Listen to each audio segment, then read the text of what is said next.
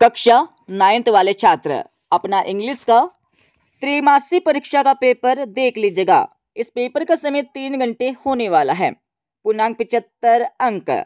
और आपको इस पेपर का फुल सॉल्यूशन इसी वीडियो में मिलने वाला है।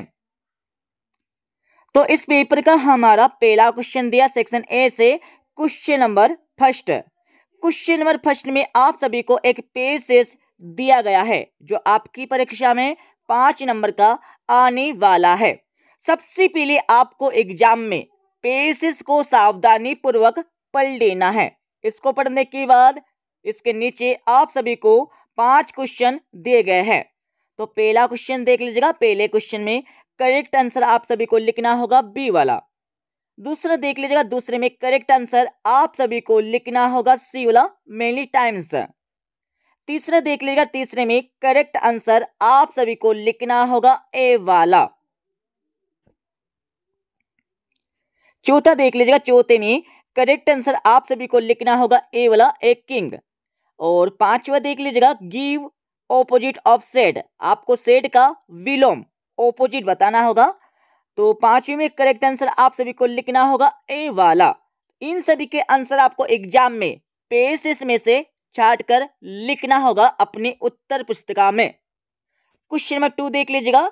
इसमें भी आप सभी को एक पेसेस दिया गया है, जो आपकी परीक्षा में आने वाला पाँच नंबर का। तो सबसे पहले आप सभी इस पेसेस को पढ़ लीजिएगा। इसको पढ़ने के बाद इसके नीचे पाँच क्वेश्चन दिए गए हैं। पहला क्वेश्चन आपको दिया। पहले क्वेश्चन में करेक्ट आंसर आप सभी को लिखना होगा। सी वाला 2006 और दूसरे में करेक्ट आंसर आप सभी को लिखना होगा डी वाला। और तीसरे में करेक्ट आंसर आप सभी को लिखना होगा ए वाला लेक्स चौथे में करेक्ट आंसर आप सभी को लिखना होगा बी वाला सिल्वर मेडल और पांचवे में आप सभी को लिखना होगा डी वाला, जिससे क्वेश्चन नंबर टू के पाँच नंबर यहाँ से कंप्लीट हो जाएँगे।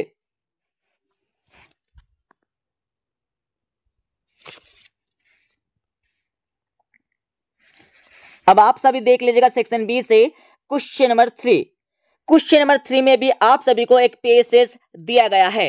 इस पेसेस में सबसे पहले आप सभी को लिखना होगा टाइटल टाइटल के बाद आपको लिखना होगा नोट्स तो इसका आंसर आपको बता देंगे इस वीडियो के लास्ट में किस प्रकार से आपको परीक्षा में टाइटल एंड नोट्स बना के लिखना है। अब आप सभी देख लीजिएगा question number four question number four के पहले वाले क्वेश्चन में आप सभी को एक एप्लीकेशन लिखना होगा बुक बैंक की। तो इसका आंसर भी आप सभी को बता देंगे और इसके और वाले क्वेश्चन में आप सभी को एक लेटर लिखना है। तो इसका आंसर भी आप सभी को बता देंगे। अब आप सभी देख लीजिएगा question number five question number five में क्या करना होगा? Write an essay on the any of the following topics in 150 word. मतलब आपको किसी एक टॉपिक पर, एक ए से एक निबंध लिखना होगा। तो आप सभी किसी एक टॉपिक पर, एक ए से एक निबंध याद कर लीजिएगा और आप सभी देख लीजिएगा क्वेश्चन नंबर सिक्स। तो क्वेश्चन नंबर सिक्स में आपको क्या करना होगा? इस पिक्चर्स को देखकर, इसके बारे में आप सभी को एक शॉर्ट पैराग्राफ बनाकर लिखना है, जिससे तीन नंबर यहाँ से कंप्लीट हो जाएँगे। तो इसका आंसर भी आप सभी को बता देंगे इस वीडियो के लास्ट में। अब आप सभी देख लीजिएगा सेक्शन सी से ग्रामर वाला क्वेश्चन नंबर सेवन वाला क्वेश्चन तो इसमें क्या करना होगा? इस क्वेश्चन में आप सभी को रिक्त स्थानों की पूर्ति करके लिखना है, जो आपकी परीक्षा में पाँच नंबर के आने वाले हैं। पहला देख लीजिएगा ही इज़ ब्लैंक इंजीनियर तो पहले में लिखना होगा अन अन आपको पहले का आंसर लगाना है। और दूसरे में करेक्ट आंसर आप सभी को लिखना होगा, विशिष्ट।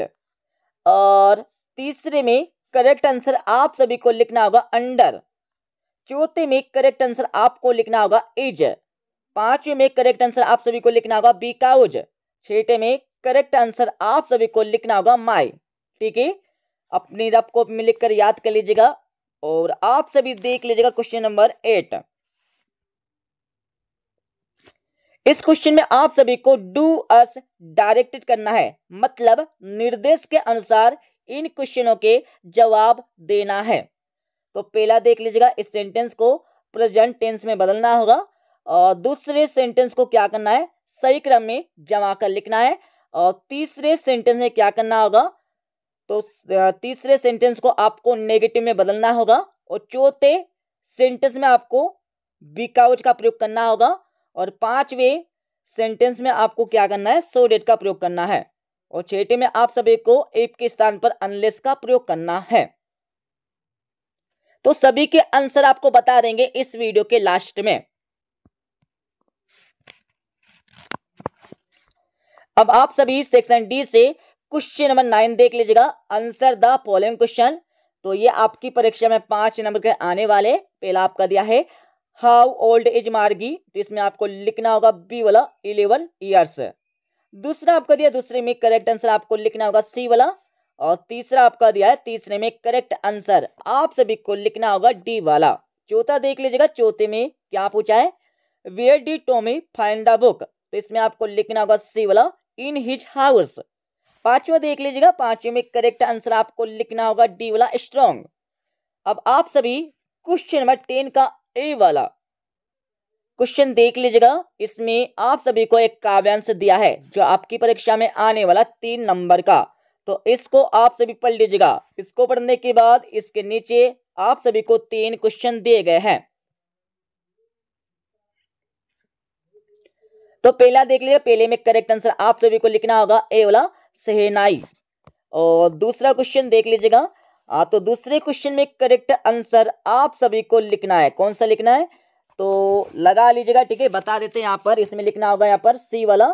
और इसके साथ ही यहाँ पर अगला आपका दिया है तीसरा तो तीसरे में करेक्ट आंसर आपको लिखना होगा ए वाला सेनाई प्लेयर अब यहाँ पर बी वाला क्वेश्चन देख लीजिएगा, इसमें एक काव्यांश दिया है, जो आपकी परीक्षा में आने वाला तीन नंबर का।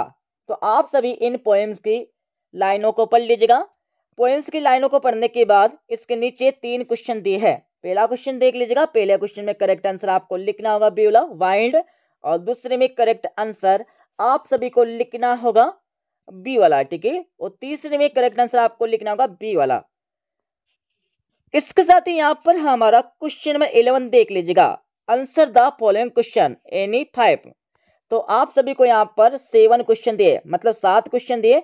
सातों में से सिर्फ़ आपको पाँच क्वेश्चन के जवाब आंसर लिखना होगा एग्ज़ाम में। तो इनके आंसर आपको बता देंगे इस वीडियो के लास्ट में। अब आप सभी क्वेश्चन में ट्वेल्व देख लीजिएगा। इसमें आपको तीन क्वेश्चन दिए। तीनों में से सिर्फ़ दो क्वेश्चन के जवाब देना है। तेरहवा क्वेश्चन देख लीजिएगा। इसमें भी आपको तीन क्वेश्चन दिए। तीनों में सिर्फ़ आपको एक क्वेश्चन का आंसर देना होगा। और आगे हम चलेंगे तो यहाँ पर देख लीजिएगा चौदह प्रश्न। चौदहवीं के बाद आपका पंद्रह क्वेश्चन आपका दिया, पंद्रहवें के बाद यहाँ पर सोलवा क्वेश्चन आपका दिया है। अब मैं इस क्वेश्चन पेपर का फुल सॉल्यूशन आप सभी को बता देता हूँ।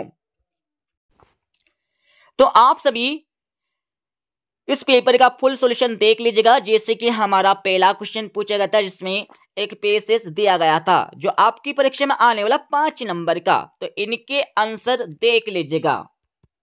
और आगे हम चलेंगे तो यहाँ पर क्वेश्चन नंबर टू का आंसर देख लीजिएगा, ठीक है? क्वेश्चन नंबर टू के बाद आगे हम चलने वाले हैं तो यहाँ पर आप सभी को क्वेश्चन नंबर थ्री का आंसर मिल जाएगा, जिसमें सबसे पहले आपको टाइटल लिखना होगा। टाइटल के बाद आप सभी को नोट्स बनाकर लिखना है। देख लीजिएगा, इस प्रकार से आपको नोट्स बनाना होगा परीक्षा में, ठीक है?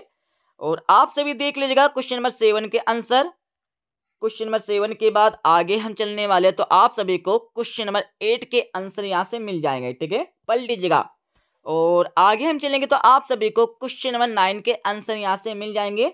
और क्वेश्चन नंबर नाइन के बाद आगे हम चलने वाले तो आप सभी को क्वेश्चन नंबर टेन का ए एंड बी के आंसर यहाँ से मिल जाएँगे।